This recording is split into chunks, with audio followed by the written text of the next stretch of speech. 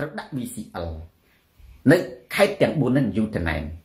ហើយខេត្តទាំង4នេះបើយោងតាមអ៊ុំសំអាន គឺមេបញ្ជាការកងទ័ពវៀតណាមកំពុងតែគ្រប់គ្រងតំបន់សម្បទាន3កន្លែងបើពិតកម្ពុជាបាត់បង់អធិបតេយ្យភាពហើយនេះជាហេតុផលដែលហ៊ុនសែនមិនអាចដកខ្លួនចេញពី VCL បានពីព្រោះតែតំបន់នោះត្រូវបានកាន់កាប់បងប្អូនបើកាលណាប្រទេសមួយ ដាច់ខាត់ដាច់ខាត់ហ្មងប្រទេសមួយដាច់ខាត់កុំថាឡើយដល់មេបញ្ជាការមកដាក់ទីតាំងកាន់កាប់ប្រទេសមួយសំបីតែជនអន្តោប្រវេសន៍តែ2នាក់ក៏គេចាប់ចេញយកទៅវិញដែរអញ្ចឹងហើយបានជាឲ្យតែប៉ះរឿងយួនណាហ៊ុនសែនចាប់ដាក់គុកមកបងប្អូនរសើបទៅដូចជាលោកយាយលោកអ៊ំស្រីម្នាក់ម្សិលមិញហ្នឹងគឺហ៊ុនសែនចាប់ហ្នឹងគឺរឿងនិយាយរឿងប៉ះរឿងយួនហ្នឹងឯងឥឡូវគីមហនតាងប្រទេសមួយมันអាចមានកងទ័ពបរទេសវត្តមានកងទ័ពបរទេសបានទេ បើពូសវណ្ណាដូចអ៊ុំសំអាននិយាយមេបញ្ជាការមានន័យថាម៉េចមានន័យថាតំបន់នៅខេត្តរតនគិរីបច្ចុប្បន្នត្រួតត្រាដោយកងទ័ពវៀតណាម ក្រោមឯកសន្តានស៊ីវិលបាត់ទៅហើយឬក៏អាចនិយាយថាបើយោងតាមអ៊ុំសំអានណាក្មេងមិនខ្លាចខ្លាខេត្តរតនគិរីគឺគ្រប់គ្រងដោយវៀតណាម ក្រោមរូបភាពកម្មករ និងរូបភាពជនស៊ីវិលចឹងខ្ញុំណែគ្រាន់តែឲ្យបងប្អូននឹងទៅមើលនៅទំព័រ Facebook របស់អ៊ុំសំអានចំណុចទី2ហើយខ្ញុំនិយាយទី1រឿងថា VCL ហេតុអីបានជាហ៊ុនសែនបដោតការយកចិត្តទុកដាក់សំខាន់ទៅលើចំណុចហ្នឹងហើយចំណុចទី3ចំណុចទី2គឺយើងឃើញមានស្តូបយួនទូទាំងប្រទេសកម្ពុជាហេតុអ្វី បានជាមានស្តូបយួនគីងហឿងទូទាំងប្រទេសកម្ពុជាវាមានន័យថាម៉េចមានន័យថាវាហំឆាយគឺជាការលួងលោមឬជាការយកចិត្តប៉ុន្តែរឿងមួយដែលខ្ញុំធ្លាប់និយាយឲ្យវិទ្យាសាស្ត្រត្រង់ថាចែកចាប់ចិនលួងចិត្តយួនអញ្ចឹងពីណាហ៊ុនសែនងាកទៅចិនភ័យខ្លាចយួនវាយចិនវីវិធីណាបើកបោដូច្នេះដើម្បីលួងចិត្តយួនព្រោះខ្លាចយួនរណបយួន គឺត្រូវតែធ្វើស្តុបអនុសាវរីយ៍នៅ24ខេត្តក្រុងអត់មានអីខុសទេប៉ុន្តែយើងត្រូវសួរថាចុះនៅស្រុកខ្មែរយួនវាធ្វើដែរអត់អត់ហេតុអីបានជានៅស្រុកយួនអត់ដែលមានឃើញស្តុបខ្មែរមួយសោះណាម៉ងស្រីសុយពីព្រោះតែយួនវាអត់ត្រណប់វាអត់ស្ថិតនៅក្រោមអាណានិគមរបស់ខ្មែរទេវាឯករាជ្យវាជាម្ចាស់ចុះនៅកម្ពុជាហេតុអីបានជាមានមកពីយើងណាត្រូវតែរណបយើង ដឹកនាំប្រទេសសូនតារាបើដឹកនាំប្រទេសត្រូវដឹកនាំប្រទេសធីកុសលឯករាជ្យចេញពីការត្រួតត្រារបស់បរទេសអត់ដឹកនាំកម្ពុជាដាក់រណបឲ្យបរទេសត្រួតក្បាលទេកម្ពុជាយើងអត់ត្រូវការរណបបរទេសតូចក៏ដោយគឺត្រូវការឯករាជ្យភាពបូរណភាពទឹកដីមួយចាំរែលោកគ្រូនិយាយថាចុះការសង់ស្ទូបយួនហ្នឹងមិនខុសត្រង់ណាមិនខុសទេបើសិនជាយើងមានតែមួយ ដូចជានៅប្រទេសកម្ពុជាមានតាណាមួយមានភ្នំពេញមួយនោះវាគ្រប់ហើយមានន័យថាមួយវាតំណាងឲ្យទូទាំងប្រទេសហើយវាអត់ចាំបាច់អីមួយខេត្តមួយទេបើមួយខេត្តមួយមានន័យថាម៉េចមានន័យថាថ្ងៃណាមួយដូរប្រទេសនឹងដូរទៅយួនស្រាប់តែម្ដងប្រិយមិត្ត share វីដេអូនេះទៅកាន់ប្រិយមិត្តដទៃទៀតថនចន្ទថាទូរទស្សន៍សូនតារាបងកណងធំ ស្រាត់ខោជន់ផ្ដាច់ការផ្លាស់ប្ដូរផ្នត់កំណត់គ្រឿងខ្លែងទី2 មុននឹងចូលទៅដល់ប្រធានបទសំខាន់មួយ ដែលខ្ញុំចោទជាសំណួរថាតើសម្ដេចខុសច្បាប់ដែរឬទេព្រោះខ្ញុំនិយាយរឿងច្បាប់តិចកណ្ដាលហ៊ុនសែនចូលចិត្តនិយាយច្បាប់ខ្ញុំនិយាយរឿងច្បាប់បន្តិចណានេះយើងនិយាយអីឲ្យវាមានសេចក្តីថ្លៃថ្នូរ US Tiger ឃើញយោងទំព័រ Facebook សម្ដេចតេជោបែឥឡូវនេះដូចជាប្រធានបទសូនតារាមួយខែនេះយោងទៅទំព័រហ៊ុនសែនណា ដូចអត់មានអីផ្សេងដូចដូចលែងយកអាស៊ីសេរីហ៎ដូចលែង VOA អាហ្នឹងនៅម្ដងមកកាលដែរប៉ុន្តែឥឡូវវាបតិកលាគ្នាហ្នឹងវាវាយោងតែទំព័រ Facebook ហ៊ុនសែននេះនឹង Fresh News នឹងឯងមែនទេតែអាស៊ីសេរី VOA នេះ The Cambodia Daily អីណាព្រះអាទិត្យរះហើយខ្ញុំនៅតែតាមដានមើលធម្មតាទេប្តីអូនរី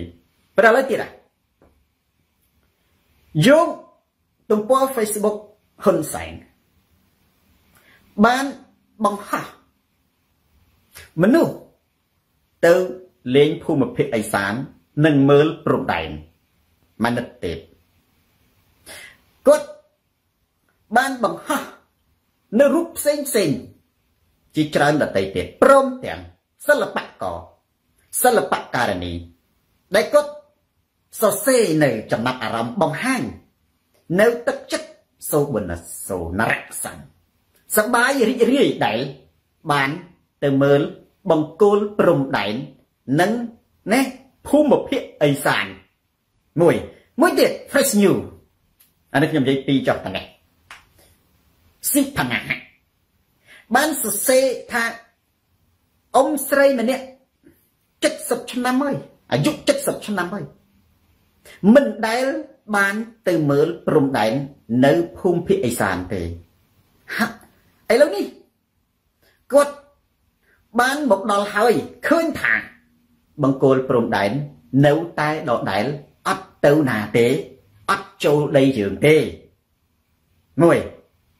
ឥឡូវខ្ញុំនិយាយរឿងណែ fresh new មុនមុននឹងរឿងទំព័រ Facebook របស់ហ៊ុនសែនចុះរុស្សុភ័ណ្ឌរតនៈអាយុ70ឆ្នាំមិនដែលស្គាល់ ភូមិភាគឦសាន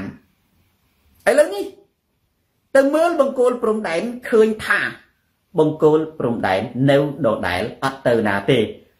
មិនមិនដឹងបើដែលទៅផងហ្នឹងអានេះមួយណាបញ្ជាក់ថាវាឈួតតែម្ដងអានឹងគេហៅថាមនុស្សឈួតតែប៉ុណ្ណឹងមនុស្សឈួតហ្មងយើងអានឹងតាំងពិតចំណុចនេះខ្ញុំធ្លាប់និយាយយូរហើយអង្គរបូរីជាស្រុកកំណើតខ្ញុំ ខ្ញុំនិយាយតាំងពីថ្ងៃដំបូងដំបូងបើជាចិត្តកន្លះខែហើយខណ្ឌខុនដែលនិយាយអំពីអ្នកនិយាយបកគោលព្រំដែនអើកាលនោះខ្ញុំឆ្លើយតបជាមួយនឹងបដិជគុណច័ន្ទមនីទេខ្ញុំថាអាម៉េចមិនដឹងបើខ្លួនឯងមិនដែលទៅផងមានតែប្រជាជននៅទីនោះទេដែលដឹងហើយប្រជាជននៅទីនោះនិយាយបានទេព្រោះគេយកទៅសម្លាប់ចោលអាហ្នឹងណាអានេះនៃធៀបសម្លាប់ចោលហ្នឹងគេថាខ្នោះច្បាប់ my freedom អញ្ចឹងវាឈួតសុតបងប្អូនអាយុ អាយុ70ឆ្នាំ70ឆ្នាំហើយមិនដែលស្គាល់ភូមិភាគឦសានទេឥឡូវទើបតែខ្ញុំមកឃើញបង្គោលព្រំដែនទើបដឹងថាណែបង្គោលព្រំដែននេះនៅតែជាបង្គោលអត់មានទៅណាទេអត់មានចូលដីយើងទេអាមិនបណ្ដឹងមិនដែលទៅផងអានឹងចេះចំនួនចំណុចទី1ណាអានឹង Lee Casey ដែលខ្ញុំហៅថាឈួតសុតបងប្អូនទេពីដូចហ៊ុនសែនគាត់និយាយទៅ ព្រោះយើងនិយាយរឿងព្រំដែនយើងបាច់ទៅយោងអាស៊ីសេរី VOA ទេទៅយោងផ្ទាល់ផ្ទាល់មកពួក fresh new ណាប្រកាសក៏ហ៊ុនសែនដែរមកសុខបើថាសិល្បករសិល្បករនីសបាយរីករាយនឹងទៅមើលបង្គោលព្រំដែនហើយនឹងខេត្តភូមិភាគឦសាន គឺឃើញថាអត់មានអ្វីទេណាបងប្អូនខ្ញុំនិយាយដល់ចេះចង់ទៅមើលបង្គោលព្រំដែន វាមាន2បង្គោលព្រំដែនចែកចេញជា2ប្រភេទអាសច្ចធម៌ពិតពិតគឺសច្ចធម៌គឺបង្គោលព្រំដែនបោះនៅក្នុងព្រៃដែលអត់មានមនុស្សរស់នៅ និងបង្គោលព្រំដែនបោះនៅសហគមន៍ដែលមានមនុស្សរស់នៅបង្គោលព្រំដែនណាបង្គោលព្រំដែនដែលបោះក្នុងព្រៃអត់មានមនុស្សរស់នៅ ដូចជាខេត្តរតនគិរីមណ្ឌលគិរីមួយចំនួន គឺជាតំបន់ភ្នំ និងតំបន់ព្រៃបងប្អូនមូលីណាមនអញ្ចឹងបើយោងតាមអ៊ុំសំអាននិងសំរងស៊ីអានេះយើងត្រូវនិយាយគាត់ថាយួនពុះផែនទីឲ្យខ្មែរអ៊ុំសំអានគាត់ថាច្បាស់ណាគាត់លើកថាអញ្ចឹងហើយគាត់ថាកែកំយ៉ានបានរាយការណ៍ទៅហ៊ុនសែននៅខេត្តតាកែវយួនបានបោះ អាលីនច័ន្ទបង្គោលព្រំដែនចូលដីខ្មែរ1200ម៉ែត្រជាងយើងថា1300ម៉ែត្របើយើងនិយាយទៅ1គីឡូជាងយុវជនខ្មែរពីរអញ្ចឹងឥឡូវយើងសន្និដ្ឋានថាបើយោងតាមអ៊ុំសំអាន ការបោះបង្គោលព្រំដែននៅក្នុងព្រៃទោះជាគេបង្ខិត3គីឡូក៏យើងអត់ដឹងដែរបងណាមិនដឹងថាព្រៃខ្មែរយើងនៅរតនគិរីមណ្ឌលគិរីនឹងពីមុននៅឯណាណាសុកលេងបឺអានឹងចំណុចទី1 បាននេះខ្ញុំថាបើយើងអាយុ70ឆ្នាំឬក៏សិល្បករសិល្បករនីនឹងមិនដែលទៅស្គាល់ព្រំដែនសោះហើយទៅមើលទៅនិយាយថាអានឹងពីមុនមកវានៅតែហ្នឹងឬពីមុនវានៅតែណាបើអ្នកឯងនិយាយថាអញ្ចឹងពីមុនវានៅតែនឹងមួយយ៉ាងផាងពីនេះហើយឥឡូវវានៅតែតែនឹងដដែលណៃដឹងពីណាមកអ្នកណាគេប្រាប់អ្នកឯងគាត់សួរយ៉ាណៃដឹងពីណាមកអ្នកណាគេប្រាប់អ្នកឯងអាមិនបានជាអ្នកឯងអះអាងថាអានឹងវាអត់អី អាហ្នឹងណាព្រំដែនក្នុងព្រៃបងប្អូនបើយោងតាមអ៊ុំសំអានណាបើយោងតាមអ៊ុំសំអាននឹងសំរាំងស៊ីវណ្ណៈសូនទោះជាចូល1គីឡូ2គីឡូម៉ែត្រក៏យើងអត់ដឹងដែរអត់ដឹងទេមើលនេះមើលទៅឃើញអត់មានអីផងមួយទីនេះព្រំដែនសហគមន៍ធនចន្ទថាព្រំដែនជាប់សហគមន៍គឺព្រំដែនដែល មានមនុស្សរស់នៅ មានស្រែ មានចំការដូចជាខេត្តព្រៃវែងស្វាយរៀងអានឹងអត់ព្រៃទេខេត្តព្រៃវែងស្វាយរៀងកំពង់ចាមតាកែវកពតអីហ្នឹងអាហ្នឹងបងប្អូនដឹកទៅមើលណាហើយមិនបាច់ថតទេតែកាលណាបងប្អូនចាំសម្ដីសុនត្រាថាហ៊ុនបូកសានស្មើកវិបោកបោកអ្វីៗនៅហ៊ុនសានយើងគឺជារបស់កន្លែងកន្លែងហ្នឹងណានៅអាមកឃ្លាទៀតថាបើរបស់ពិតអត់ចូលទៅក្នុងទំព័រ Facebook សម្ដេចនិង Fresh News ទេបើខ្ញុំស្នើចេះ មិនបាច់ទៅក្រលហេងលហាមអីគាត់តែទៅព្រំដែនអត់មានលុយដែរនឹងសិល្បៈកសិល្បៈការនីនឹងមកតែងខ្លួនស្អាតស្អាតរបស់ប្រាវសុទ្ធទំនើបដែររឿងអីនៅក្រលហេងលហាមគាត់ទៅព្រំដែនចាំជីឡានហ៊ុនសែនទៅអ្នកដែលសបាយហ្នឹងណាខ្ញុំឲ្យលួចទៅព្រំដែនមើលតែប្រយ័ត្នជាប់គុកខ្ញុំគាត់និយាយលេងណាងុកអាដាមងុកអាដាទៅសួរប្រជាជន នៅព្រំដែនខេត្តស្វាយរៀង កំពង់ចាមព្រៃវែងបងប្អូនហើយអ៊ុំសំអានបង្ហោះយើងឃើញពិតមិនមែនតែអ៊ុំសំអាននេះឃើញអ្នកណាដែលបង្ហោះណាបកគោលព្រំដែនអើតចេញនៅចក្រានបាយហ្នឹងណាសុបីតែសុកទួចក៏ថាភូមិហេងសំរិនណានៅក្នុងដីយូដែរចង់ដឹងថាតើអាបង្គោលព្រំដែននឹងវាផុសនៅលើស្រែខ្មែរនៅលើចំការខ្មែរនៅភូមិខ្មែរ គឺមិនបាច់ចាំជីឡានហ៊ុនសែនទៅទេពួកសិល្បករសិល្បករនីហ្នឹងណាលួចទៅហើយទៅមើលទៅសួរប្រជាជនមិនស្រួលចូលមើលមិននឹងបានផងទៅសួរប្រជាជនមើលណែតើវាបាត់ស្រែវាបាត់ចំការវាចូលដីប្រជាជនកន្លែងណាខ្លះហើយមិនបាច់ថតទេមើលនេះគ្រាន់តែដឹងឲ្យមកដេកនៅផ្ទះមកពីព្រោះបើលើកកាមេរ៉ាថតក៏មិនហ៊ានបង្ហោះដែរអានេះខ្ញុំថាអញ្ចឹងបើយោងតាមសំរងស៊ីនៅអ៊ុំសំអានណាអានេះជាយោបល់របស់ខ្ញុំ បើយើងទៅមើលព្រំដែននៅក្នុងព្រៃបងប្អូនដែលអត់មានមនុស្សរស់នៅយើងអាចដឹងបានទេហើយអានឹងយើងមិនដឹងថាម៉េចហើយបើយើងចង់ដឹងច្បាស់ទៅមើលព្រំដែននៅរតនៈនៅខេត្តស្វាយរៀងព្រះនៅស្វាយរៀងព្រៃវែងនៅកពតខេត្តកដាលខេត្តនៅកំពង់ចាមនៅខេត្តស្អីនៅត្បូងឃ្មុំអានឹងគឺទៅទៅហើយនិយាយឲ្យខ្លីទៅចេះ កុំបាច់ថតអីទេ ហើយកុំបាច់ចាំជិះឡានយើងមិនក្រលហាមទៅព្រំដែនមានលុយទេទៅហើយទៅសួរប្រជាជនណាអានឹងច្បាស់សួរសួរសូនតារានិយាយនឹងចង់សំអាងលើអីអេ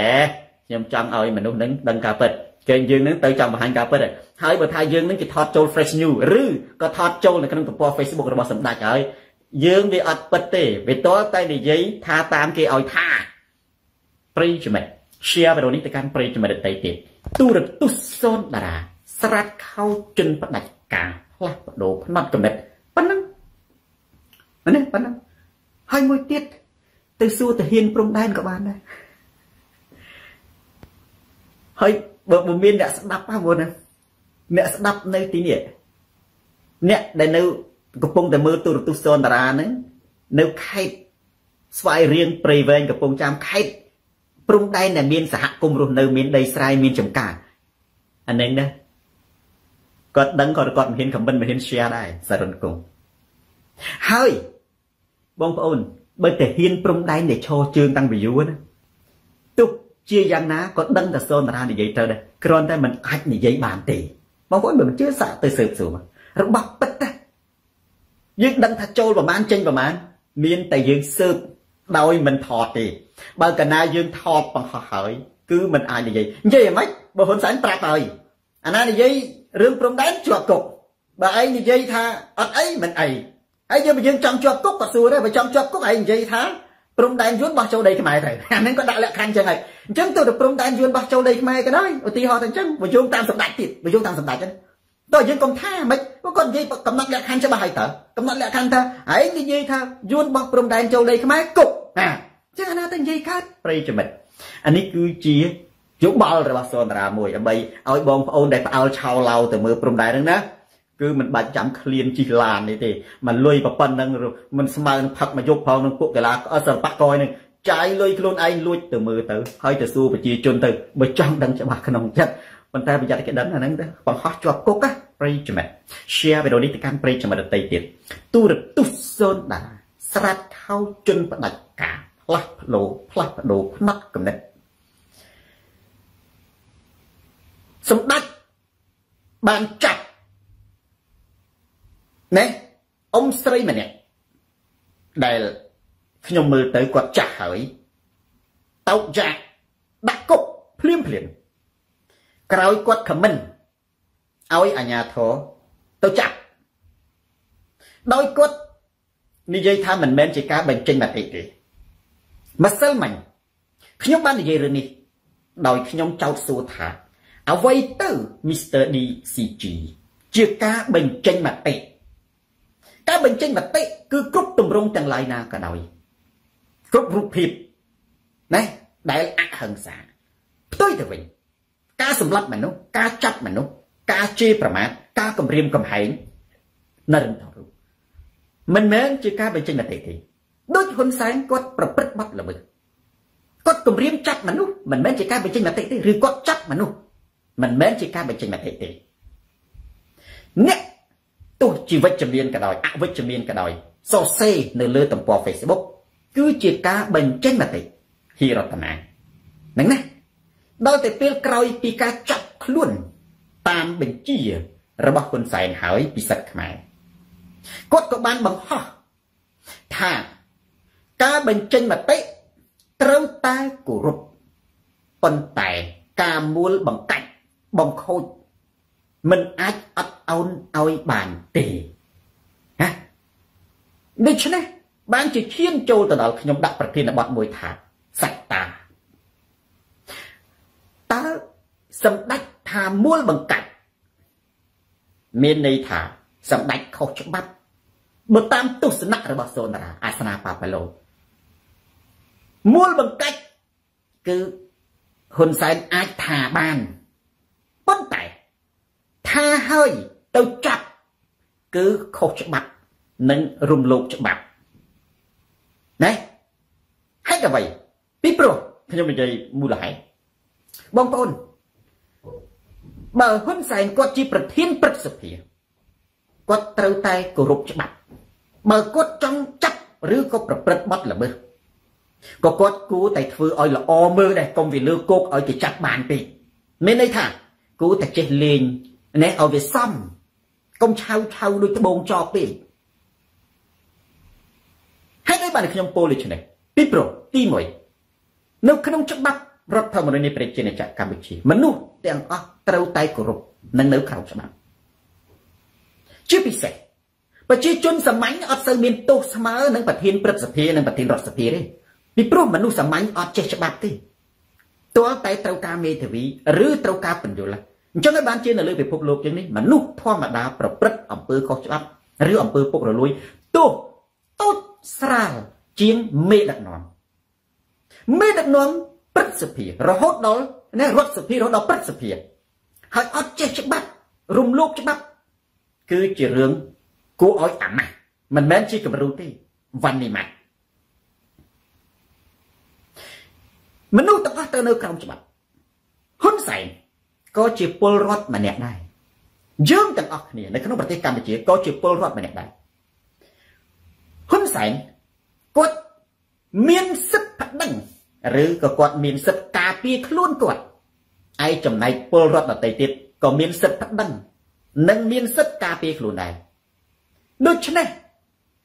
ឧទាហរណ៍ថាខ្ញុំមិនឯកភាពនឹងការមូលបង្កាច់នេះហ៊ុនសែននៅលើទំព័រ Facebook របស់គាត់អញ្ចឹងត្រូវធ្វើម៉េច Lee case me គឺបងប្អូនហ៊ុនសែនមិនមែនជាតុលាការទេណា យោងតាមច្បាប់ហ៊ុនសែនមិនមែនជាតុលាការទេដោយដែលខ្ញុំលើកឡើងបាញ់មិញហ៊ុនសែនគ្រាន់តែជាពលរដ្ឋម្នាក់បើគាត់គិតថាគាត់ត្រូវរងការរំលោភបំពានការមួលបំកាច់ពីអ្នកដទៃគឺគាត់ត្រូវតែដាក់ពាក្យប្តឹងនៅយងសំណេរហ្នឹងគាត់ដាក់ពាក្យប្តឹងទៅតុលាការមិនមែនបញ្ជាអាជ្ញាធរទេបញ្ជាអាជ្ញាធរគឺខុសច្បាប់ប្រធានព្រឹទ្ធសភារំលោភច្បាប់អត់ចេះច្បាប់ ពួកនៅស្រុកប្រាំងនេះមានទេទីហៅថាអឺអឺនេះរដ្ឋមន្ត្រីរដ្ឋមន្ត្រីក្រសួងមហាផ្ទៃគាត់ប្តឹងតុលាការម្នាក់តែអត់មានតុលាការចាត់ការទេអត់តុលាការមានចាត់ការទេគាត់គេហៅតាមមិនដឹងគាត់ណាសូម្បីតែរដ្ឋមន្ត្រីរដ្ឋមន្ត្រីក្រសួង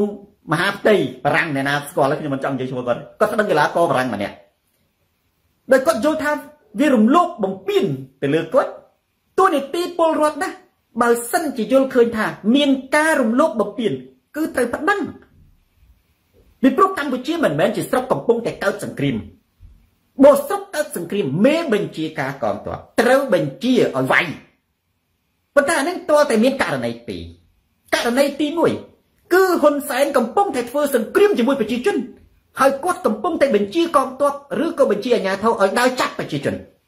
ពេលប្រជាជនណាដែលចេញមុខមកគាត់បញ្ជាត្រូវប៉ុន្តែហ៊ុនសែនត្រូវដាក់ប្រទេសនៅក្នុងសង្គ្រាមមិនមែនប្រទេសមានសន្តិភាពទេ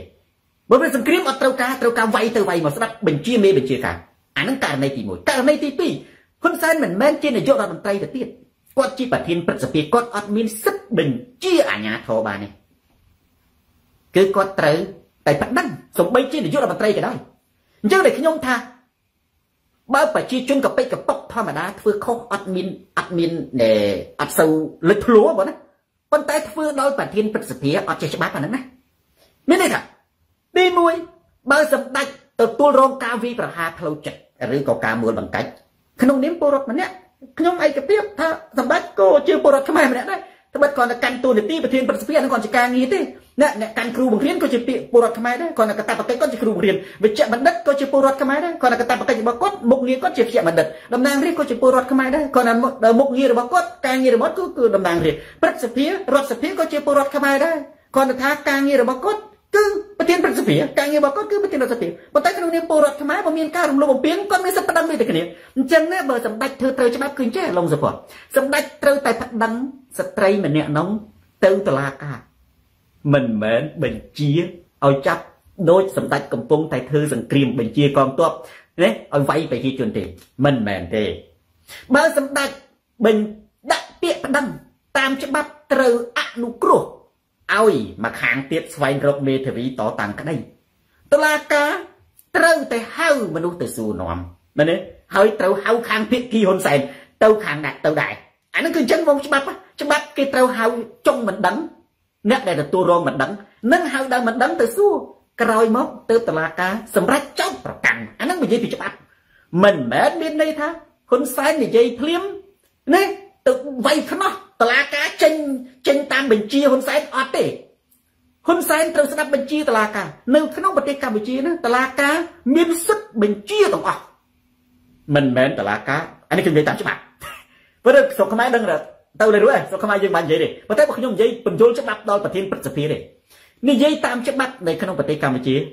មានតែតឡាការទេដែលបញ្ជាគ្រប់រឿងមិនមែនតឡាការស្ដាប់បញ្ជាហ៊ុនសែនទេអាហ្នឹងបើយើងតាមច្បាប់អញ្ចឹងសរុបសេចក្តីមកនៅក្នុងប្រធានបទទេវទេខ្ញុំចង់និយាយថាអ្នកដែលអាចថាស្ត្រីម្នាក់នោះរងការជាអ្នកមូលបង្កាច់មានទោសញុះញង់ មិនមែនហ៊ុនសែនអ្នកថាទេ មានតែតឡាការមួយគត់អ្នកថាហ៊ុនសែនមានត្រឹមតែសិទ្ធិប្តឹងតែប៉ុណ្ណោះបើគាត់ជាប្រធានប្រសិទ្ធិគាត់លើកស្ទួយនីតិរដ្ឋគាត់អះអាងថាគាត់គោរពច្បាប់អានឹងគឺធ្វើតាមច្បាប់ណាបងប្អូននៅក្នុងច្បាប់គេមានពាក្យថាចេះច្បាប់ជាសកលមិនមែនតែក្នុងប្រទេសកម្ពុជាទេអង្គច្បាប់អង់គ្លេសក៏អញ្ចឹងច្បាប់បារាំងអាមេរិកច្បាប់ខ្មែរជាសកលគេថា នៅតែជាជនជាប់ចោតដរាបណាតុលាការមិនទាន់វិនិច្ឆ័យថាជននោះមានទោសអានេះតាមច្បាប់ហ៎មែនទេអញ្ចឹងហ៊ុនសែនបានបំពេញហ៊ុនសែនបានដាក់ទោសមុនតុលាការខុសតាមច្បាប់ជនទាំងអស់នៅតែជាជនជាប់ចោតបងប្អូនអញ្ចឹងហើយបានជាបងប្អូនមានឃើញតឡាការប្រើពាក្យត្រូវទេតឡាការស្រុកខ្មែរគេប្រើពាក្យត្រូវ អាញាធរក៏ប្រើពាក្យត្រូវដែរប៉ូលីសក៏ប្រើពាក្យត្រូវដែរពេលនេះគេចាប់បានគេហៅចាប់អ្នកទោសណាគេហៅចាប់ជនជាប់ចោតឬក៏ជនត្រូវចោតជនជាប់ចោតជនត្រូវចោតបើកាលណាតឡាការមិនទាន់កាត់ទោសថាមានទោសអ្នកនោះទោសជានៅក្នុងគុកដៃជាប់ខ្នោះក៏ដោយនៅតែជាជនជាប់ចោតអញ្ចឹងហ៊ុនសែនគាត់ល្មើសកន្លែងនេះណាខុសច្បាប់បើសូនតារាខុសច្បាប់អត់បញ្ហាកពេកកប៉ុក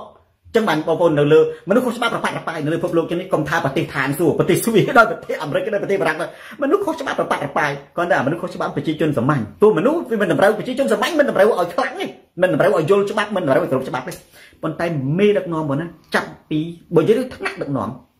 រហូតដល់តែប្រធានព្រឹទ្ធសភាអត់ចេះច្បាប់ទៅទៀតអានឹងគូខុសហើយណាធ្ងន់ធ្ងរមិននឹងជាអ្នកណាទៅយកគំរូតាមមិនទេអញ្ចឹងបាទចុះសូនតារាសម្អាងលើសម្អាងលើច្បាប់ខ្ញុំនិយាយ ខ្ញុំនិយាយលើរកឈរលើយុទ្ធធម៌គឺតាមនេះចេះកម្ពុជាត្រូវនៅក្រោមច្បាប់មិនថានរណាទេគាត់ត្រូវតែនៅក្រោមច្បាប់ទាំងអស់អត់មានលើកលែងមួយទេណាមួយមួយទៀតកម្ពុជានៅក្រោមច្បាប់ហ្នឹងហើយពលរដ្ឋទាំងអស់ស្មើគ្នាចំពោះមុខច្បាប់មួយហើយហ៊ុនសែនគ្រូបង្រៀនណាប្រធានព្រឹទ្ធសភាប្រធានរដ្ឋសភាតំណាងរាស្ត្ររដ្ឋមន្ត្រីណាវិជ្ជបណ្ឌិតវិស្វករកម្មករ អានឹងគឺជាការងារជាមុខងារទេប៉ុន្តែអ្នកទាំងអស់គ្នានឹងគឺជាពលរដ្ឋខ្មែរមានសិទ្ធិការពារដោយច្បាប់ចេះដូច្នេះបើមានការរំលោភបំពានគឺត្រូវតែប្តឹងទៅតុលាការឧទាហរណ៍ថាហ៊ុនសែនគាត់ចង់ប្តឹងស្ត្រីម្នាក់នឹងប្តឹងពីបទអីប្តឹងពីបទមូលបង្កាច់ប្តឹងពីបទបរិហាគេឬក៏ប្តឹងពីបទញុះញង់គាត់ត្រូវតែប្តឹងទៅតុលាការហើយទុកឱកាសឲ្យស្ត្រីម្នាក់នោះស្វែងរកមេធាវីហើយតុលាការត្រូវហៅទាំងសងខាងកុមារទេពមែនទេ ត្រូវហៅទាំងសងខាងទៅសួរតំណាងហ៊ុនសែនឬក៏តំណាងណាអានឹងហៅនីតិវិធីច្បាប់ប៉ះសម្ដេចហើយស្ត្រីម្នាក់នោះមិនអាចទៅវាយខ្នោះតម្លាក់ចូលគុកតាមបញ្ជីទេលើកលែងតែកម្ពុជាកំពុងតែធ្វើសង្គ្រាមមានតែកំពុងតែធ្វើសង្គ្រាមទេឆាយាសាច់សាដែលស្ដាប់បញ្ជាមេបញ្ជាការដោយអត់ត្រូវការឆ្លងកាត់តឡាការអត់ឆ្លងកាត់ពីបណ្ដឹងអត់ឆ្លងកាត់មេធាវីអត់ឆ្លងកាត់ការការពារក្តីទេបញ្ជាចាប់សម្លាប់ដាក់គុកដូចប៉ុលពតបញ្ជាឲ្យគេទៅវាយសុនសេនហ្នឹង អាហ្នឹងលើកលែងតែហ៊ុនសែនជាប៉ុលពតណានេះប៉ុលពតបញ្ជាឲ្យទៅវាយឲ្យទៅសម្លាប់សុនសេនដល់ផ្ទះអាហ្នឹងគឺអញ្ចឹងអត់មានត្រូវការតឡាការទេពួកប៉ុលពតនោះប៉ុលពតបញ្ជាឲ្យអូមនុស្សយកទៅវាយចង់ត្បូងចង់អត់ត្រូវការតឡាការទេបើសម្ដេចមានសេចក្តីថ្លៃថ្នូរជានិមិត្តរូបនៃច្បាប់និមិត្តរូបច្បាប់ហើយប្រធានព្រឹទ្ធសភាព្រឹទ្ធសភាហ្នឹងគឺច្បាប់ធំជាងគេកម្ពុជាកម្ពុជាជាងគេព្រឹទ្ធសភាហ្នឹងហើយមានអីធំជាងព្រឹទ្ធសភាទៀត ហើយបើប្រធានព្រឹទ្ធសភាអត់ទាំងអនុវត្តច្បាប់ផងទៅឲ្យខ្មែរទៅយកគំរូតាមហើយឈប់ពលពាក្យច្បាប់ទៅខ្ញុំចង់និយាយទៅចេះចំណុចត្រង់នេះណាខ្ញុំគាត់ចង់និយាយទៅសម្ដេចឈប់យកពាក្យច្បាប់មកនិយាយទៅបើសម្ដេចជាកម្ពុជាច្បាប់ប្រធានព្រឹទ្ធសភាមិនទាំងដឹងតែនៅក្នុងប្រជាជាតិកម្ពុជាត្រូវធ្វើនីតិវិធីផងហ្នឹងស្ត្រីម្នាក់ហ្នឹងរត់មិនរួចទេ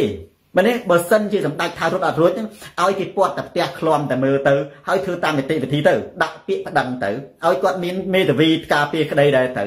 អានឹងគេហៅថាមិនមែនជាប្រធានព្រឹទ្ធសភាទេគឺជាជនប្រើកំហឹងជាមនុស្សសាមញ្ញតែប៉ុណ្ណោះដែលមានអំណាចផ្ដាច់ការជនសាមញ្ញដែលមានអំណាចផ្ដាច់ការមិនមែនជាប្រធានព្រឹទ្ធសភាមិនមែនជាដឹកនាំទេជនសាមញ្ញដែលមានអំណាចផ្ដាច់ការដែលខ្ញុំធៀបដូចប៉ុលពតដែលបញ្ជាឲ្យមនុស្សទៅសម្លាប់សំសៃហ្នឹងណាគឺអត់មាននេះពលមាត់ពលពតជាតឡាការដែលសង្កត់សង្ស័យថាសុនសេននឹងក្បត់ណា ក៏បញ្ជាមនុស្ស Tiger Forest ឲ្យទៅសម្លាប់តែម្ដងអញ្ចឹងសម្ដេចធ្វើខុសហើយប្រិយមិត្ត share វីដេអូនេះទៅកាន់ប្រិយមិត្តដទៃទៀតទូរទស្សន៍សនតារាស្រាត់ខោជន់ផ្ដាច់ការផ្លាស់ប្ដូរផ្នែកកំណត់មាន comment មួយទៀតដែលឃើញកឹមសុខយកមកបង្ហោះដែរគឺនៅលើទំព័រ Facebook សម្ដេចថា សម្ដេចហើយជាមើលទៅគាត់ទៅដូចចាស់ហើយគាត់ដូចជាទៅមិនមានទំនួលខុសត្រូវមិនមែនតែមនុស្សម្នាក់អីណាទៅអាចវឹកវរអីទេសម្ដេចឆ្លើយតបទៀតថាប៉ុន្តែសំណេររបស់គាត់មនុស្សមើលច្រើនឬមួយអ្នកឯងចង់ទៅជាប់គុកជាមួយគាត់ដែរអានឹងហើយបងប្អូន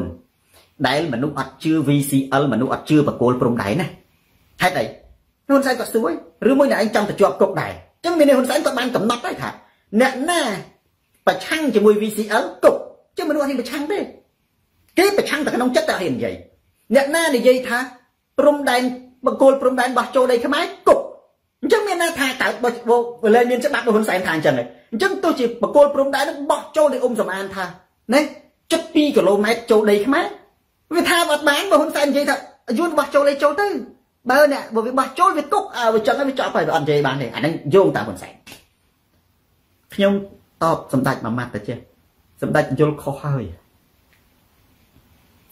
ខមមិនស្ត្រីម្នាក់នោះបើសម្ដេចអត់យកបើអត់សម្ដេចអត់តឲ្យប្លុកចោលមនុស្សខ្ញុំក៏មិនដឹងណាខ្ញុំអត់មានប្រធានបទបើនិយាយដើម្បីមានអ្នកមើល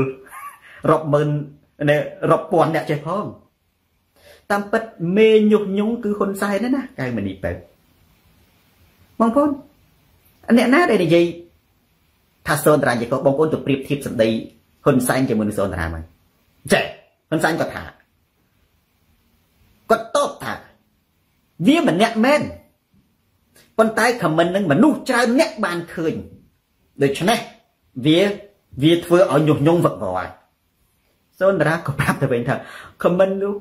បើសម្ដេចមិនតបហើយប្លុកចោលបាត់គឺអត់មានអ្នកណាដឹងទេសូម្បីតែខ្ញុំក៏មិនទាំងដឹងផងសម្ដេចមានគណៈកម្មការមាន admin អ្នកត្រួតពិនិត្យមើលទៅខមមិនណាមិនស្រួលប្លុកប្លុកចោលទៅហេតុអីបងប្អូនតាមពិត Facebook គេឲ្យច្បាប់យើងប្លុកតាអ្នកណាដែលរំខានអ្នកណាដែលវាយប្រហារអារម្មណ៍យើងគេឲ្យទៅប្តឹងចាប់ដាក់គុកទេហ្នឹងគេឲ្យប្លុកណែអញ្ចឹងមូលហេតុដែលស្ត្រីនោះ ផ្អើលពិភពលោកផ្អើលបណ្ដាញសារព័ត៌មានគឺដោយសារតែសម្ដេចតបត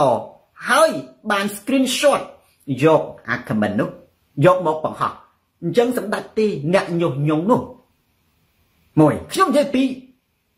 ធម្មជាតិរបស់ Facebook បងប្អូនធម្មជាតិរបស់ Facebook ណា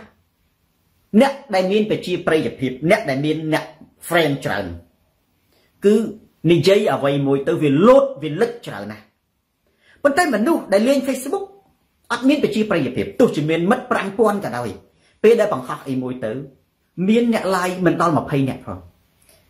ហើយបើសិនជាសូនតារា comment អានឹងមែនសំរងស៊ី comment អានឹងមែនមនុស្សមើលច្រើនមែនពីព្រោះពេលដែលខ្ញុំ comment ទៅខ្ញុំវាមានអ្នកគ្រប់គ្រងច្រើនវាបណ្ដាញគេហៅបណ្ដាញសង្គមវាប្រតិប៉ុន្តែបើមាន Facebook ខ្លះ ផុសបង្ហោះ3ថ្ងៃមានអ្នក like ម្នាក់ដូចស្ត្រីហ្នឹងខ្ញុំជឿថាគាត់គាត់បង្ហោះ3ថ្ងៃមានអ្នក like 2នាក់អញ្ចឹងពេលដែលគាត់ comment ទៅលើ page នានាណាអត់លិចទេបងឃើញតែម្ចាស់ page ទេមែនទេអ្នកដតីទៀតអត់លិចទេ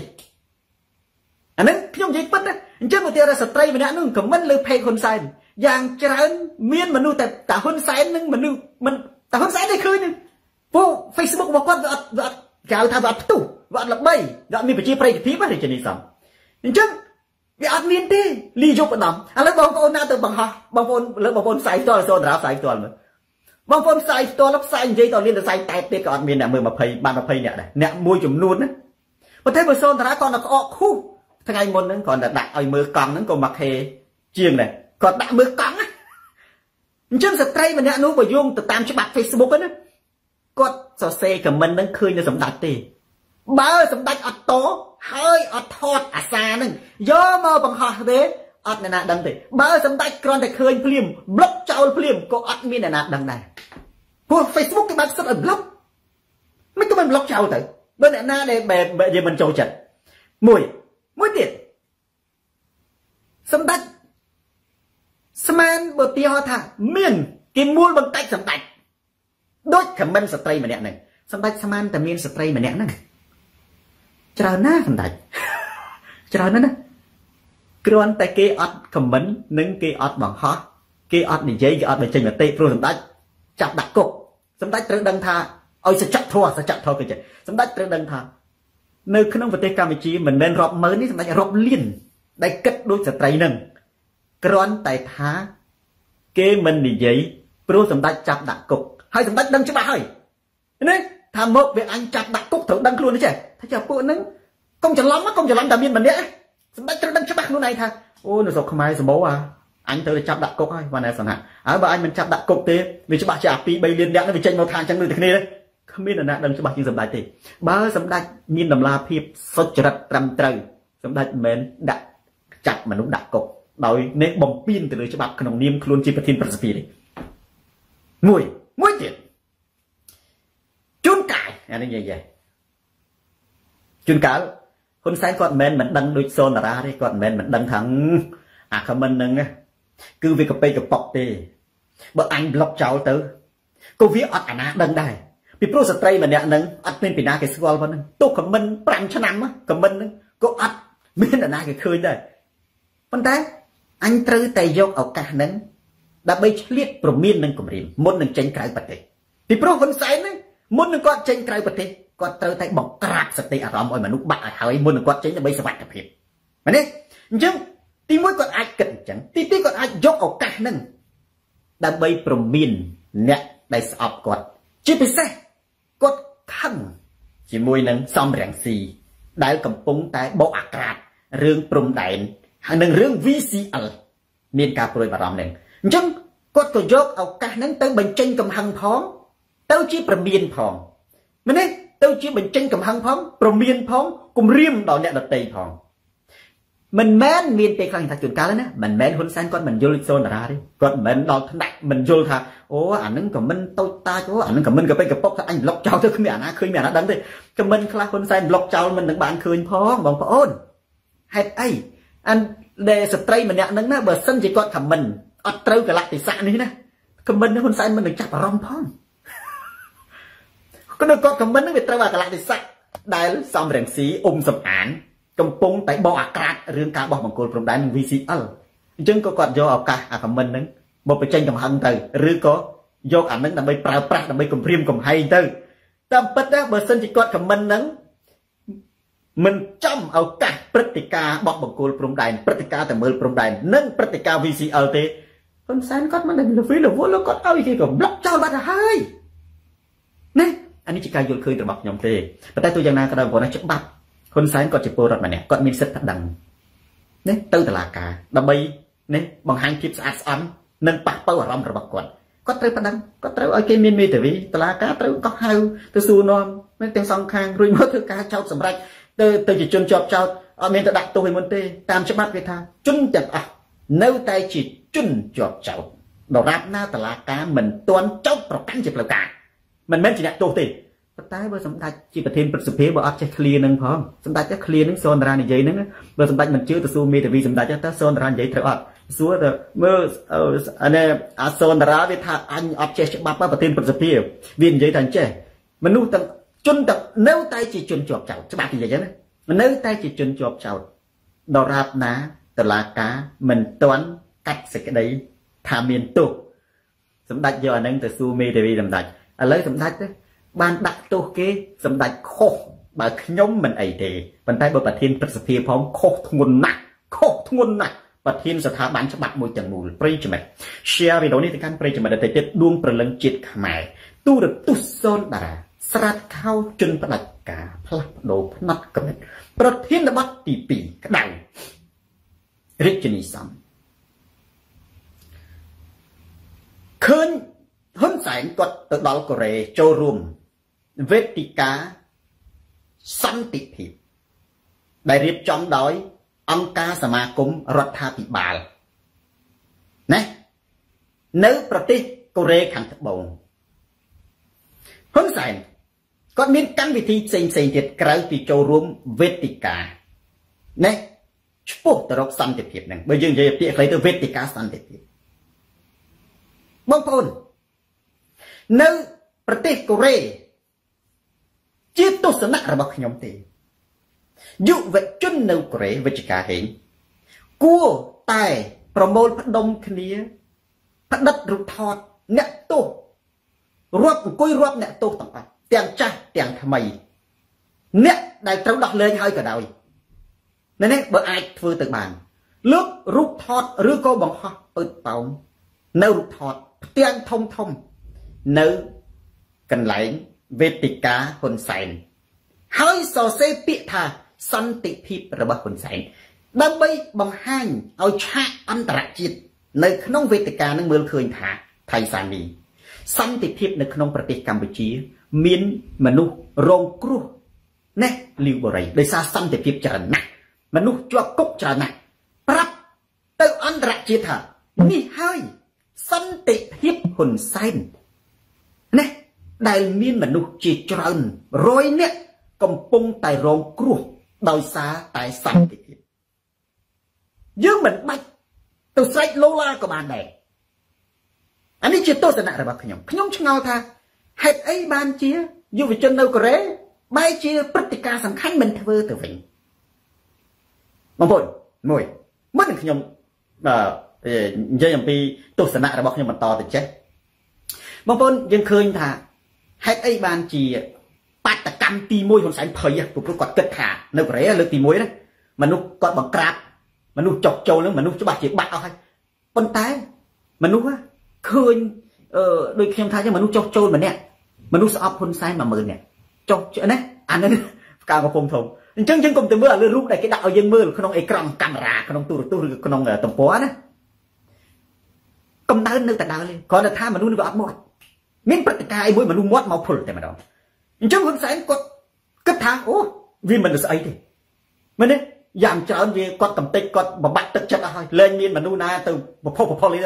ស្រាប់តែបាតកម្មលើកទី1នៃប្រទេសកូរ៉េមនុស្សមកហ៊ុនសែនរីអាចរៀកនោមបានចេញអាព្រឹត្តិការណ៍រហូតមកទល់បច្ចុប្បន្ននេះឆ្លើយតបជាមួយនឹង VCL នេះចេញអាព្រឹត្តិការណ៍ទៅមើលព្រំដែនផងទៅចេញឲ្យសិល្បករបកស្រាយផងទៅចេញឲ្យយុវជនយុវនារីយុវតីបកស្រាយផងទៅប្រើតាំងពីលោកសំផងចេញមកផ្លិតអស់ផងចេញទាំងអ្នកអក្សរសាស្ត្រផងចេញទាំងបណ្ឌិតផងចេញទាំងប្រើផងគឺដោយសារតែកំឡុងធំមកនៅប្រទេសកូរ៉េប៉ុន្តែបងប្អូន ដល់តែពេលបាតកម្មលើកទី2ហ៊ុនសែនអត់សូវប្រតិកម្មទេបងប្អូនដឹងមូលហេតុអីបងប្អូនអាចសួរសូនតារាវិញថាយើងលោកគ្រូដឹងមូលហេតុអីទេខ្ញុំដឹងប៉ុន្តែខ្ញុំដឹងបែបចិត្តសាស្ត្រខ្ញុំអត់ដឹងបែបវិទ្យាសាស្ត្របែបចិត្តសាស្ត្រមានន័យថា ជាការមើលធ្លុះមិនមែនសម្ដីដែលហ៊ុនសែននិយាយទេវិទ្យាសាស្ត្រមានពេលខ្លះវាអត់វាអត់ពិតផងសម្ដីហ៊ុនសែននិយាយក៏មិនពិតដែរ បងប្អូនឥឡូវខ្ញុំសួរបន្តិចជាចិត្តសាស្ត្រហេតុអីបានជាបាតកម្មនៅកូរ៉េលើកទី2គណៈបកប្រជាជនអត់ប្រតិកម្មខ្លាំងដូចបាតកម្មទី1ទេអត់ទេហើយដល់អត់សូវមានការបន្ទុយប្រអាក់ដូចជាបិទថាបិទធ្វើលិខិតឆ្លងដែនលើកទី1ស្រាប់តែប្រកាសធ្វើបាតកម្មលើកទី2បើកឲ្យមានលិខិតឆ្លងដែនវិញបងប្អូនជាលក្ខណៈចិត្តសាស្ត្រណាមនុស្ស មិនអាចប្រមូលផ្ដុំគ្នា នៅក្រៅប្រទេស ធ្វើបាតកម្មមួយខែ3ដងបានទេអញ្ចឹងបើធ្វើលើកទី1បាន30000ណាលើកទី2យ៉ាងច្រើនបាន10000សួរថាចុះគេជប់គ្រប់គ្រងមិនមែនទេមនុស្សវានៅតែគ្រប់គ្រងតែនៅកូរ៉េមនុស្ស100000គ្រប់គ្រងវានៅ100000ដដែលគ្រាន់តែបើមានព្រឹត្តិការណ៍ទៅបើមានបាតកម្មដែលអត់មានព្រឹត្តិការណ៍ណាល្អអានឹងមនុស្សទៅតែមិនដល់100នាក់ផងប៉ុន្តែបើមានព្រឹត្តិការណ៍ណាមួយត្រូវចំណុច មនុស្សទៅ100000ក៏មានមិនមែនមានន័យថាមនុស្សទៅតិចមនុស្សទៅច្រើននឹងឆ្លុះបញ្ចាំងអំពីចំនួនគ្រប់គ្រងមែនទេឆ្លុះបញ្ចាំងអំពីផុសផុលទឹកចិត្តឃ្លាវខ្លាប៉ុន្តែបើនិយាយមកស្អប់របស់ផ្ដាច់ការនៅដដែលនេះអៀងអៀងអៀងលេងអៀតអឺលៀងអេកអៀតដដែលហ្នឹងណាលក្ខណៈករណាខ្ញុំនិយាយចិត្តសាស្ត្រណាបើនិយាយពីស្អប់អយុត្តិធម៌ស្អប់របបផ្ដាច់ការចង់បានលទ្ធិប្រជាធិបតេយ្យវាថានៅកូរ៉េមនុស្ស100000នាក់នៅតែ100000នាក់ដែរគាត់ថាអាការផុសផុលរំជើបរំជួលទុកចិត្ត ពុះកញ្ជ្រោលចេញមកលះបង់ហ្នឹងវាទៅតាមកលៈទេសៈផន្តាគីមនិងទៅតាមព្រឹត្តិការណ៍ដែលញ៉ាំងចិត្តទេប៉ុន្តែកុំច្រឡំថាមនុស្សទៅបាតកម្មហ្នឹង200នាក់ហ្នឹងថាអូអស់អាលីងអត់អាលីងហ៊ុនសែនលើក៏ដឹងច្បាស់អញ្ចឹងចម្លើយហេតុអីបានជាបាតកម្មលើកទី2គណៈបកប្រជាជនអត់សូវជួយយោបល់អត់សូវហាមឃាត់អត់សូវរករឿងទេគេមានតែឲ្យធ្វើបងប្អូនពីព្រោះក្រុងហ៊ុនសែននឹងទៅដល់កូរ៉េម្សិលមិញនេះថ្ងៃនេះ មានន័យថាបើបាតកម្មលើកទី1បាតកម្មលើកទី2វាអស់កម្លាំងហើយបាត់ហ៊ុនសែនទៅដល់ស្អាតចៃអាហ្នឹងគេហៅចិត្តសាស្ត្របងប្អូនណាចិត្តសាស្ត្រតបអញ្ចឹងហ៊ុនសែនគាត់គាត់ឃើញតែបាតកម្មលើកទី2គាត់អអត់ហើយគាត់អើទៅហើយហើយយើងមើលតែអញទៅស្អាតស្អាតឈឹងឥឡូវអត់មានឃើញអីលីងស្អាតឈឹងមិនដូចខ្ញុំថាអញ្ចឹងបងប្អូនមនុស្សមិនអាចមួយខែទៅធ្វើបាតកម្ម3ដងបបាក់ប្រមូលដងគ្នា បើនេះវាត្រូវការពេលវេលាវាត្រូវការអីផងហើយណាមួយទៀតហ៊ុនសែនគាត់ទៅណាគាត់រើសថ្ងៃទៅអត់ចំថ្ងៃអាទិត្យមិនថ្ងៃសៅរ៍ទេគាត់ទៅថ្ងៃអាទិត្យហ្នឹងគាត់ទៅដល់ថ្ងៃច័ន្ទគឺចាប់ផ្ដើមអាកិច្ចប្រជុំហ្នឹងគេធ្វើការប៉ុន្តែហេតុមិនសុនរានិយាយចេះបងប្អូនជាទស្សនៈរបស់ខ្ញុំផាន់ថាគីមអូបងប្អូនគៀងហើយបាទខាងខ្ញុំគៀងទាំងខមមិន view បាទ view ឃើញមិញឃើញឥឡូវបាត់ដែរបាទហ្នឹងគៀងត្រឹមផាន់ថាគីម អញ្ចឹងខ្ញុំថ្លែងសារនេះទៅកាន់យុវជននៅកូរ៉េបន្តិចយុវជននៅកូរ៉េគួរតែលើករូបថតអ្នកដែលហ៊ុនសែនចាត់គ្រប់មនុស្សទាំងអស់ Tiger Forest សុំច្បាប់អាជ្ញាធរវេទិកាដែលគេធ្វើនៅទីណា ទៅលើកនៅហ្នឹងមួយទី2ចំនួនមិនចាំបាច់សំណាញ់មកចំនួនមិនចាំបាច់បងប្អូនយល់សុំតានិយាយមានន័យថា អ្នក ដែលទំនេរនៅតំបន់អ្នកដែលស្ម័គ្រចិត្តលះបង់ចង់មកពីឆ្ងាយជាយន្តហោះជារឿងរបស់គេប៉ុន្តែត្រូវប្រមូលផ្ដុំកម្លាំងចំនួនមិនសំខាន់ដូចខ្ញុំថាមកអ្នកដែលស្អប់របបផ្ដាច់ការ100000នៅ100000ទេកុំគិតថាមានមនុស្សតិចគេថាមានមនុស្សមកតបស្វាអត់សំខាន់ទេសំខាន់មនុស្សតែ5នាក់ក៏បានដែរអ្នកដែលនៅតំបន់ហ្នឹងដាក់ពាក្យសុំចម្ងាយប្រមាណម៉ែត្រមនុស្ស20នាក់ឬអីរកមិនបាន នៅជុំវិញហ្នឹង កាន់រូបថតម្នាក់មួយកុំឲ្យមានដៃទៅនេះហើយមិនបាច់និយាយមេក្រូក៏បានដែរកាន់រូបថតមែនទេយកស្កុតបិទមាត់ដើរឬក៏សំដែងសិល្បៈសំដែងសិល្បៈដៃជាប់ខ្នោះដោយពួកដែលចូលគណៈបកប្រជាជនគេធ្វើណាជើងយកច្វាក់ចងជើងយកច្វាក់ចងដៃមាននេះអ្នកម្នាក់ពាក់មុខ ហ៊ុនសែនហ៊ុនសែនក៏អាចធ្វើមុខពាក់បានតា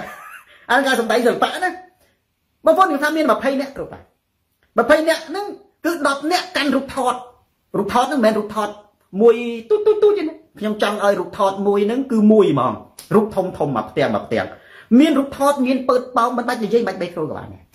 មែនទេហើយមានត្រឹម3នាក់ទៅយកដៃចងខ្នោះចងច្រវាក់មានម្នាក់តួជាហ៊ុនសែនទៅ ពាក់មុខហ៊ុនសែនដូចយើងពាក់មុខអុខុងណាពាក់មុខហ៊ុនសែនទៅតំណាងណា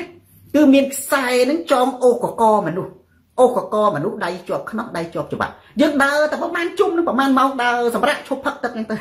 មិននិយាយស្អីច្រើនទេមិននិយាយច្រើនហើយផ្សាយផ្ទាល់បងប្អូនបងប្អូនណាការតវ៉ាមានពេលខ្លះចំនួនមិនប្រកាសថាល្អដូចបច្ចេកទេសទេណាអាហ្នឹងណាគេហៅថាសិល្បៈនៅក្នុងការតស៊ូមតិកូនសិស្សសនារារៀនភាពជាអ្នកដឹកនាំ រៀនរបៀបតស៊ូមតិរបៀបតស៊ូមតិពេលខ្លះណាយើងធ្វើប្លែកចង្កាយើងក៏ប្លែងក៏បានដែរបងណាយើងគូជាតែកុំចេញរូបហង្សាធ្វើម៉េចឲ្យកំសត់តែហ្មងមិនបាច់ទេមិនទេបង្ហាញម្នាក់ហ្នឹងវាសាហាវម្នាក់កំសត់អត់មានទេនេះចឹងបានខ្ញុំថាបើសិនជាយុវជននៅកូរ៉េអាចលះបង់រាប់ប្រមាណរាប់លុយហើយរឿងអីនៅតំបន់ដែលហ៊ុនសែនធ្វើវេទិកាហ្នឹងរកមនុស្ស20នាក់មិនបានបើមិនបាន20នាក់មួនតែ5នាក់ក៏បានដែរ 5នាក់ក៏បានដែរមានន័យថាយើងគោលដៅរបស់យើងមិនមែនចង់ទេគាត់តែចង់ឲ្យអន្តរជាតិនឹងអាវេទិកាហ្នឹងវាសម្លឹងឃើញមកឃើញតែរូបហ៊ុនសែនហ្នឹងផ្ទាំងមុខគាត់ដាក់បើអាចធ្វើម៉ុងសាយហ៊ុនសែនមានតែយ៉ាំរំទៀតគាត់តែរំទៅបានម៉ុងសាយហ្នឹងនៅស្រុកនេះហ្នឹងធ្វើរូបអាមនុស្សធំប៉ុណ្ណានៃហ្នឹងកាន់ទៅដាក់ខ្នោះដៃដាក់អីចឹងទៅប្រហែលអ្នកចាប់ដឹកទៅព្រោះ ហ៊ុនសែនគាត់ទៅនិយាយពីសន្តិភាពរឿងអីគាត់ត្រូវនិយាយអំពីតើធ្វើដោយម្ដេចដើម្បីឲ្យប្រទេសមួយคลายទៅជារបបផ្ដាច់ការទាំងស្រុងហើយអំណាចពីអំណាចនៃមហាជនคลายទៅជាអំណាចគ្រួសារអានឹងបានតែត្រូវទៅនិយាយពីសន្តិភាពរឿងអីទៅនិយាយពីសន្តិភាពរឿងអីត្រូវនិយាយពីក្បួនក្តោបអំណាចក្បួនសម្លាប់លទ្ធិប្រជាធិបតេយ្យបានតែត្រូវយើង ទាំងអស់គ្នាហ្នឹងគាត់ទៅហ្នឹងដើម្បីបង្ហាញជាតិនិងអន្តរជាតិយើងបង្ហាញដែរទៅអញ្ចឹងបានជាតិយោបល់សនរាទេខ្ញុំឃើញវាស្ងាត់ទេខ្ញុំមិនមែនជាអ្នកចេះដឹងអីទេប៉ុន្តែបងប្អូនយើងអានេះបែរជាមានបងប្អូននៅកូរ៉េក៏ពុំស្ដាប់សនរាដែរដែរហើយរួយក្បាលខៀវបើតែធ្វើធ្វើតែខ្ញុំមិនដឹងទេណាគាត់ថាជាទស្សនៈរសនរាដែរខឹងណាយទេគាត់ថាយើងចូលរួមចែករំលែកគ្នាណាគាត់តែខ្ញុំឃើញវាស្ងាត់ខ្ញុំចិត្តតែឆ្ងល់ថា ពេលហ៊ុនសែនមិនទៅឯនាំគ្នាភ្លុកទឹកភ្លុកដីដល់ទៅពេលហ៊ុនសែនទៅដល់ស្រែកបាយជាស្ងាត់អានឹងវាអត់ត្រូវទេគេថាអានឹងគេមិនឲ្យច្បាប់គេមិនឲ្យច្បាប់ជារឿងរបស់គេជារឿងយ៉ាងណាក៏ដោយប៉ុន្តែខ្ញុំថាមិនចាំបាច់គ្នាច្រើនទេកលៈទេសៈតន់តន់ហាន់ណាក្មេងស្រីតល់ច្រកអាកលៈលក្ខណៈតល់ច្រកភ្លាមភ្លាមបើខ្ញុំសូនតារាខ្ញុំទូរស័ព្ទប្រាប់ក្រុមអ្នកតែប្រហែលអ្នកហ្នឹងតាម Facebook តែ7តែ10អ្នកហ្នឹងគឺធ្វើអាចរៀបចំបានហើយខ្ញុំថាមិនលំបាកអីទេអាហ្នឹងគឺការតស៊ូមតិបើនៅកូរ៉េគេមិនឲ្យច្បាប់អាហ្នឹងយើងប្រាប់ទៅគេឲ្យច្បាប់ទេយើងធ្វើអីធ្វើទៅក្មេងស្រាវអញ្ចឹងយើងមានអ្នកណាដែលគេតនេអញ្ចឹងទៅប្រហែលអ្នកឬក៏ល្ងាចជាទូទៅវេទិកាក៏អាចធ្វើល្ងាចអ្នកដែលធ្វើការព្រឹកវាសាក់ស៊ីសងលើសួរគ្នាទេអ្នកខ្លះធ្វើការព្រឹកអ្នកខ្លះគឺធ្វើការថ្ងៃតើអ្នកណាណាត់ម៉ោងនេះល្ងាចអញ្ចឹងទៅមានម៉ោងណាតនេយើងគាត់តែធ្វើក៏បានដែរមិនជុំកាកន្លែងវេទិកាហ៊ុនសែននេះគេទៅអស់ហើយម៉ោង5ល្ងាចហ្នឹងត្រឹម10អ្នក20អ្នកអីហ្នឹងបងប្អូនណា អត់ចាំបាច់ច្រើនយើងចង់បានមួយលានយើងប្រកាសទៅប៉ុន្តែបើអត់ទេយើងកំណត់មិនបាច់កំណត់ទេអ្នកណាដែលគេសុកចិត្តមានឆន្ទៈមកក៏បានអ្នកដែលអត់ទេខ្ញុំនិយាយដល់ថ្នាក់តែ5អ្នកហ្នឹងក៏បានដែរសំដែងមតិបងប្អូនណាសំដែងមតិឲ្យឃើញថានៅក្នុងប្រទេសកម្ពុជាបច្ចុប្បន្នហ្នឹងគឺសុទ្ធតែគុកខ្នោះនឹងច្រវាក់ទេយើងត្រូវបង្ហាញរូបភាពខ្នោះច្រវាក់ហើយនឹងគុកឲ្យអន្តរជាតិមើលថាមិនមែនជាសន្តិភាពទេប្រទេសសន្តិភាពគឺជាប្រទេសដែលអត់មានគុកខ្នោះច្រវាក់នេះប្រទេសដែលមានគុកខ្នោះច្រវាក់នេះ ចាប់មនុស្សសេរីអឺខ្ញុំមិនខមមិនក្នុង Facebook សេរីហើយតើគេអាចហៅទៅសន្តិភាពយ៉ាងដូចម្ដេចសុកបុណ្ណរីនៅប៉ែនម៉ានហៅថាម៉េចមួយទៀតអានេះយបល់សូនារាទេណាខ្ញុំថាបើសិនជាគណៈបកសង្គ្រោះជាតិមានក្រុមការងារខ្លាំងខាង Facebook ណាប្តឹងទៅ Facebook ម្ដងទៀតទោះបីជា Facebook ហ្នឹងឧទាហរណ៍ហ៊ុនសែនគាត់បង់លុយច្រើន Facebook មិនហ៊ាន Facebook Facebook គេផ្ដាច់សូនតារាបានផ្ដាច់ហ៊ុនសែនបានមិនសូនតារាអត់ប្រយោជន៍សម្រាប់ Facebook ទេនេះសូនតារាប្រើ Facebook សុទ្ធសាធបើហ៊ុនសែនគាត់មានប្រយោជន៍សម្រាប់ Facebook មិនគាត់បង់លុយឧទាហរណ៍ថាគាត់បង់លុយឲ្យ Facebook មួយខែ3000ទៅមែនទេមួយឆ្នាំមិនមែន